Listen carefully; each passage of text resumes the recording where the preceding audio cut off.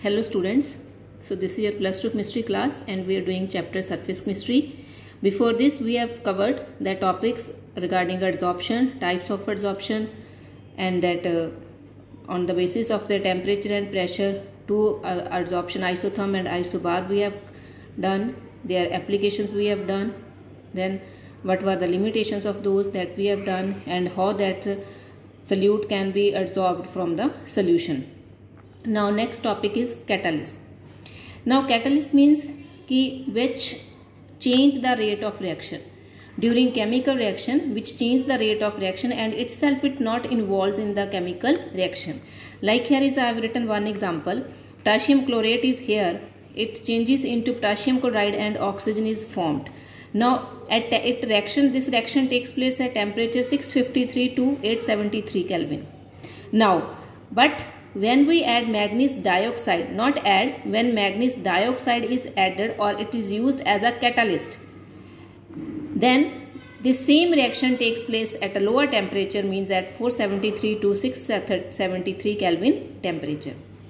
So in this reaction it is observed that in the presence of manganese dioxide the rate of reaction speed up. So catalyst which change the rate of reaction in some of the reactions, it increases the rate of reactions. In some of reactions, it decreases the rate of reaction also. But itself, it not involved in the chemical reaction. So, it is clearly explained from this reaction when it takes place without the catalyst or without manganese dioxide, it takes place at a high temperature. And when we use that manganese dioxide, then this potassium chlorate decomposes into potassium chloride and oxygen at lower temperature, which is much lower than that previous one. Now, types of these catalysts. These catalysts are of two types, homogeneous and heterogeneous. Homogeneous means as name indicates, homo means same or uniform and hetero means different. Homogeneous catalyst means in which that reactants and the catalyst are in the same state. Same state means maybe solid, liquid and gaseous. If reactants and the catalyst are present in the same state, that is known as a homogeneous catalyst. If reactants and catalyst are in the different phase is known as a heterogeneous. Now I have explained with the help of example like in this reaction sulfur dioxide oxidation of sulfur dioxide it changes into sulfur trioxide and this reaction takes place in the presence of nitric oxide. Now sulfur dioxide is in the gaseous form, oxygen is in the gaseous form and this catalyst nitric oxide is also in the gaseous form. So this is a homogeneous catalyst means state of this catalyst is similar with the reactants state of reactants. Next example like oxidation of carbon monoxide carbon monoxide is in the gaseous state oxygen in the gaseous state. Same way this reaction takes place in the presence of nitric oxide it changes into carbon dioxide. Now nitric oxide is in the gaseous state these reactants carbon monoxide and oxygen also in the gaseous state. So this is also example of homogeneous catalyst means in which Catalyst is in the same phase as the reactants are reacting. Same state of reactants and the catalyst. Now heterogeneous means when the state of reactant and the catalyst is different. Now in this case here is example of like same example I have written sulfur dioxide, oxygen and it forms sulfur trioxide. It changes into sulfur trioxide. But when it takes place in the presence of catalyst as a platinum, now in this case, the sulfur dioxide is in the gaseous state, oxygen is in the gaseous state, but platinum catalyst is in the solid state. So state of catalyst and these reactant is different. So this is the example of heterogeneous catalyst. Again next one I have written when nitrogen with the hydrogen for the formation of ammonia. So these two reactants are in the gaseous state and it takes place in the finely uh, powder of iron which is in the solid state. So state of this catalyst and these reactants is different. Reactants are in the gaseous state and this catalyst is in the solid state. So this is the example of heterogeneous catalyst means in which reactants and catalyst are of a present or different state or, or maybe they are in the uh, belongs to different states.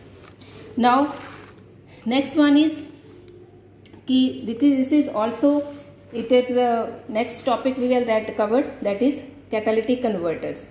Catalytic converter means it is a device that which is used in the car, motors and other vehicles which helpful to reduce the that emission of harmful gases into the environment. So these catalytic converters are used in the vehicles which are helpful to convert those harmful gases before emission into the atmosphere it changes into less harmful gases. Like in these those gases which are harmful uh, emitted or exhausted gases those pass through a chamber which contains the platinum or palladium as a catalyst. And what this catalyst done? It changes those more harmful gases into less harmful gases before disposing of into the environment. So like carbon monoxide is exhausted gas and it is oxidized in the presence of a catalyst it changes into carbon dioxide which is less harmful as compared to carbon monoxide.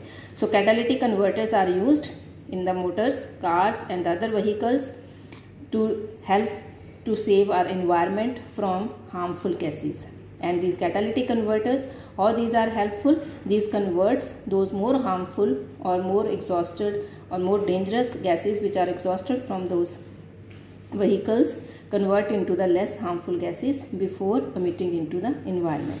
Now next are the types of catalyst. These types of catalyst means these may be positive and negative. Positive means which increase the rate of reaction.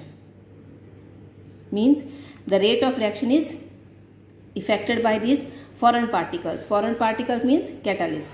Like here I have written one example of hydrogen peroxide. This hydrogen peroxide is decomposed into water and oxygen. Now this water and oxygen is formed in the presence of a platinum. So in this case it fast up the rate of reaction. So it is a positive catalyst. Now negative catalyst means in certain of the certain of the reactions when any catalyst is added that retarded the rate of reaction means in place of increasing the rate of reaction that decrease the rate of reaction. Like same example I have taken hydrogen peroxide it decomposes into water and oxygen in the presence of glycerin now in this reaction, glycerin acts as a negative catalyst because it decreases the rate of reaction. So negative catalyst means which retard the rate of reaction or decrease the rate of reaction and positive catalyst which increase the rate of reaction. So same reaction is there. There is a difference of a catalyst. Here we are using platinum which increase the rate of reaction and here is glycerin which decrease the rate of reaction. Now this positive catalyst decrease the rate of reaction by uh, increasing their these negative catalyst which increase the rate of reaction by increasing their activation energy. Next is the autocatalyst. Autocatalyst means in some of the reactions one of the product act as a catalyst is known as a autocatalyst. Auto means self. So one of the product which act as a catalyst and increase the rate of reaction. In such of type, type of reactions in the beginning rate of reaction is slow but when once the products are formed or products are uh, that formed then the rate of reaction increases like nitric acid is poured on the copper. In the beginning this reaction is slow. But once when the nitric oxide is formed rate of reaction increases. So nitric oxide is a one of the product. When this product is formed it acts as a catalyst. So it behaves as a autocatalyst which increase the rate of reaction. Thank you